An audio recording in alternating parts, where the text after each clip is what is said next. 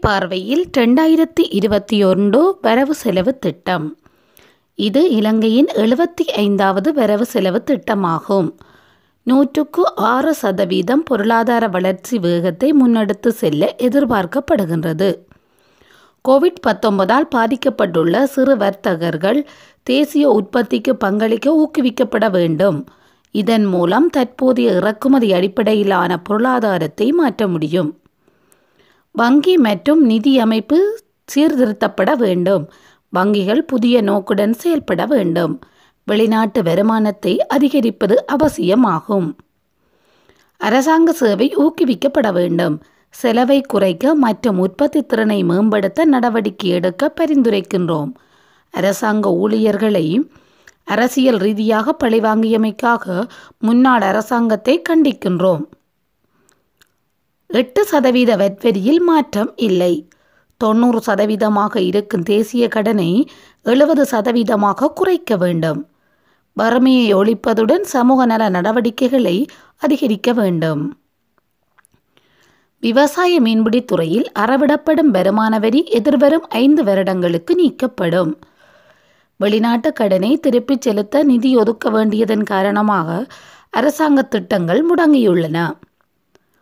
மாதத்துக்கு ரெண்டு லட்சத்தி ஐம்பதாயிரம் ரூபாய் வருமானம் ஈட்டுவோரின் வருடாந்த மொத்த தொகைக்கு வரி அறவிடுதல் தொடர்பில் ஆராயப்படும். தேசிய வரி வருவாயில் ஐம்பது வீதத்திற்கும் அதிக பங்களிப்பு செய்யும் பொருட்கள் மற்றும் சேவைகளுக்கு தனியான பொதுவரியை அறிமுகப்படுத்த நடவடிக்கை.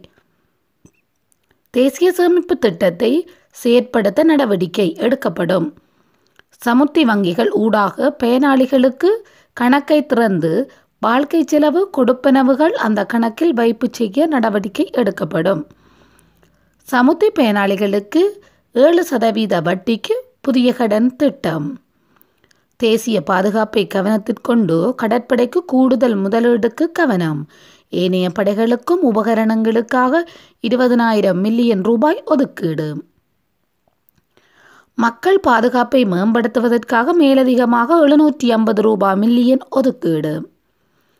கொழும்பு மற்றும் ஹம்பாந்தோட்டை துறைமுகங்களில் நடவடிக்கைகளுக்கு உதவுவதற்காக வர்த்தக மையம் செயற்பட வேண்டும். தொழில்நுட்பத் துறையை மேம்படுத்துவதற்கு எண்ணாயிரம் ரூபாய் மேலதிகமாக ஒதுக்கீடு. கிராமங்களுக்கும் தொழில்நுட்பத்தை கொண்டு செல்ல நடவடிக்கை. முழு நாடும் உள்ளடங்கும் வகையில் கிராமத்துக்கு தொழில்நுட்பம் வேலை திட்டம். போலீஸ் சேவையை வலுப்படுத்துவதில் அரசாங்கம் கவனம் செலுத்தியுள்ளது. பல்வேறு பொது பாதுகாப்பு திட்டங்களுக்கு கூடுதலாக ரூபாய் ரெண்டாயிரத்தி ஐநூறு மில்லியன் ஒதுக்கீடு செய்யப்பட்டுள்ளது.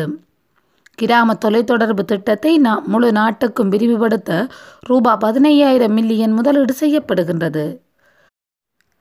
கோட்டல் சிறு வியாபார நிலையங்கள் உள்ளிட்டவற்றுக்கும் காப்பீட்டு திட்டம். கர்ப்பிணி மற்றும் குழந்தைகளின் ஆரோக்கியத்துக்கு முக்கியத்துவம். அவர்களது போசாக்கினை மேம்படுத்த நடவடிக்கை த்ரிபோசா உற்பத்தியை அதிகரிக்க ஆயிரத்தி ஐநூறு மில்லியன் ரூபாய் ஒதுக்கீடு. கர்ப்பிணிகளுக்கு மார்ச் மாதம் முதல் தொடர்ச்சியாக த்ரிபோசா வழங்கப்படும். தொழில் கல்விக்கு முக்கியத்துவம் அளிக்க நடவடிக்கை. கல்வி தொலைக்காட்சி சேவைக்கு மேலதிகமாக மூவாயிரம் மில்லியன் ரூபாய் ஒதுக்கீடு. ஆசிய அபிவிருத்தி வங்கி ஜெய்கா மற்றும் உலக வங்கியிடமிருந்து ஆயிரத்தி நானூறு மில்லியன் அமெரிக்க டாலர் கடன் பெற அரசாங்கம் எதிர்பார்க்கப்படுகின்றது. உள்ளூர் மற்றும் வெளிநாட்டு முதலீடாளர்களுக்கு புதிய முதலீட்டு வலயம் அறிமுகப்படுத்தப்பட உள்ளது. ஐம்பதுக்கும் மேற்பட்ட ஊழியர்களை கொண்ட நிறுவனங்கள் அதன் தொழிலாளர்களுக்கு காப்பீட்டு திட்டத்தை அறிமுகப்படுத்த வேண்டும். முதலாளியின் பங்களிப்பு சைபர் தசம் ரெண்டு ஐந்து சதவீதமாக இருக்கும். தொழில்நுட்ப கல்லூரிகளில் மாணவர்கள் இணைப்பு. தற்போது ஒரு லட்சமாக உள்ளது. இது வருடத்துக்கு ரெண்டு லட்சம் மாணவர்களாக அதிகரிக்கப்படும். வெளிநாடுகளில் பணிபுரிந்த நாற்பத்தி ஐயாயிரம் இலங்கையர்களுக்கு நாட்டுக்கு அழைத்து வர நடவடிக்கை எடுக்கப்பட்டுள்ளது. கொழும்பு களத்துறை கண்டி அன்றாபுரம் மட்டக்களப்பு ஆகிய இடங்களுக்கு புதிய தொழில்நுட்ப கல்லூரிகள். சுற்றுலா தொடர்பான வணிகத்தில் உள்ளூர் நிறுவனங்களின் வரிகளை குறைக்க முன்மொழிவு. ரெண்டாயிரத்தி இருபது டிசம்பர் முப்பத்தொண்டுக்கு முன்னர் பதிவு செய்யும் உள்ளூர் நிறுவனங்களுக்கு ஐம்பது சதவீத வருமான பெரிவிலக்கு. கிராமப்புறங்களில் உள்ள வழிபாட்டு தலங்களின் உட்கட்டமைப்பு வசதிகளுக்காக இருநூற்றி ஐம்பது மில்லியன் ரூபாய் ஒதுக்கீடு. திறமையான தொழிலாளர்களை வெளிநாட்டுக்கு அனுப்பவும் வேலைக்கு வெளிநாடு செல்வோருக்கு காப்பீட்டு திட்டத்தை அறிமுகப்படுத்தவும் உத்தேசிக்கப்பட்டுள்ளது. மஞ்சள் இஞ்சியை இறக்குமதி செய்வது முற்றிலும் தடை செய்யப்பட்டுள்ளது. விவசாயிகளுக்கு விதை மற்றும் உரங்களை வழங்க ஏற்பாடு செய்யப்பட்டுள்ளது. நெல் உற்பத்திக்கான உரத்தை இலவசமாக வழங்கவும் மற்ற பயிர்களுக்கு ஆயிரத்தி எண்ணூறு ரூபாய் வீதம் வழங்க திட்டம். சாகுபடி உதவு திட்டம் முன்மொழிவு. உள்ளூர் மீன்பிடி மேம்பாட்டுக்கு நூற்றி ஐம்பது மில்லியன் ரூபாய் ஒதுக்கீடு. பால் பண்ணை அபிவிருத்திக்கு அஞ்சு லட்சம் ரூபாய் கடன் வழங்க முன்மொழிவு. பெருந்தோட்ட தொழிலாளர்களின் சம்பளத்தை ரெண்டாயிரத்தி இருபத்தொன்று ஜனவரி ஒன்று முதல் ரூபாய் ஆயிரமாக உயர்த்த முன்மொழிவு. வெளிநாட்டு ஊழியர்களுக்கான ஓய்வூதிய திட்டத்தை செயற்படுத்த யோசனை. அனைவருக்கும் சுத்தமான குடிநீரை பெற்றுக் கொடுக்க நடவடிக்கை. இதற்காக ஆயிரம் பில்லியன் ஒதுக்கீடு. ரெண்டாயிரத்தி இருபத்தி ஒன்று தொடக்கம் ரெண்டாயிரத்தி இருபத்தி ரெண்டு ஆண்டுகளில் தடையில்லாத மின்சாரத்துக்கு உத்தரவாதம் அளிக்க லக் விஜய மற்றும் கேரவலப்பட்டிய மின் உற்பத்தி நிலையங்கள் வலுப்படுத்தப்படும். ரெண்டாயிரத்தி இருபத்தி ஒன்று தொடக்கம் ரெண்டாயிரத்தி இருபத்தி மூன்றுக்கு இடையில் தேசிய மின்கட்டமைப்பில் ஆயிரம் மெகாவோட் மின்சாரம் சேர்க்கப்படும். கொழும்பு மற்றும் களனிவழி ரயில் பாதை விரிவாக்கத்துக்கு ஆயிரத்தி முந்நூறு மில்லியன் ரூபாய் ஒதுக்கீடு. புதுப்பிக்கத்தக்க சக்தி உற்பத்தியை ஆயிரம் மெகாவோட்டாக அதிகரிக்க முன்மொழிவு. இலங்கையின் எரிசக்தி விநியோகத்தில் எழுபது சதவீதம் புதுப்பிக்கத்தக்க எரிசக்தி மூலங்களிடமிருந்து ரெண்டாயிரத்தி இருபத்தி மூன்றுக்குள் பெறப்படும்.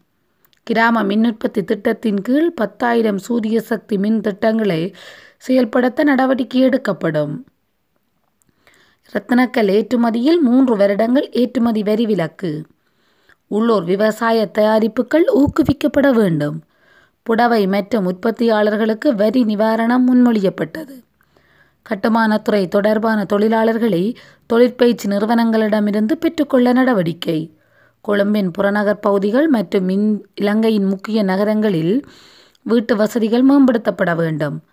வங்கிசாரா நிதி நிறுவனங்களின் மேற்பார்வைக்கு வலுவான கட்டமைப்பை உருவாக்க புதிய விதிகள். நீதித்துறை சேவைகளுக்காக இருபதாயிரம் மில்லியன் ரூபாய் ஒதுக்கப்பட உள்ளது. வேலைவாய்ப்பு பிரச்சினைகளை தீர்ப்பதற்கு நிதிச் சட்டத்தில் திருத்தங்கள் முன்மொழிவு. அரச ஊழியர்களுக்கும் வெளிநாட்டு கல்வி அல்லது வேலைக்கு இரண்டு ஆண்டுகள் வரை விடுமுறை. ஆண்கள் மற்றும் பெண்களுக்கான ஓய்வூதிய வயது அறுபது வரை நீடிக்கப்படும். ஒவ்வொரு கிராம சேவகர் பிரிவிலும் சமுத்தி கடைகள் நிறுவ ரூபாய் ஆயிரம் மில்லியன் மேலதிக ஒதுக்கீடு. காடழிப்பு முயற்சிகளை தடுப்பதற்கு இலங்கை விமானப்படை கண்காணிப்பு அதிகரிக்கப்பட உள்ளது.